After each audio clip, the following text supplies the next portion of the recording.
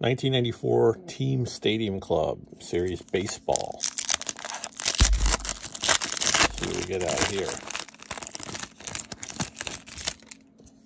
Start off, we got Tim Hulett. Then we got Dan Plesac. We got Palmeiro, who didn't do roids. Wait, wag the finger. Jay Howell. We got Pat Kelly. Tommy Greene. Armand, Armando Reynoso, excuse me. Then we got Darren Holmes, Scott Radinsky. All right, let go, damn it. Mark Gardner. We got, I don't know what the hell this is, Richie Lewis. Then we got a David Justice here with nothing on the front.